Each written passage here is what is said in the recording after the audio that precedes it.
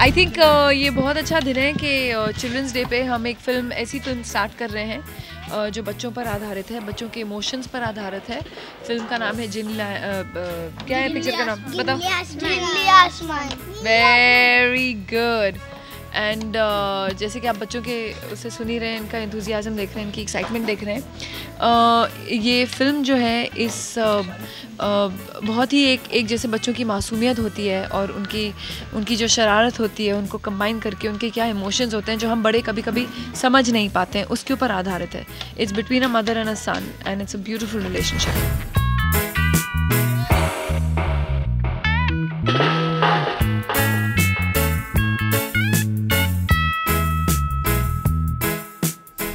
आज बताओ children's day क्यों मनाया जाता है? कौन बना कौन कौन बताएगा?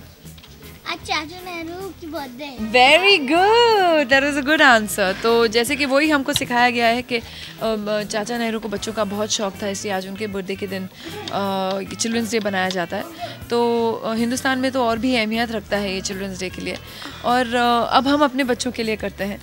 तो मज़ा आता है बच्चों के लिए तो हर दिन एक ट्रीट होना चाहिए लेकिन आज तो कुछ दिन स्पेशली होता है।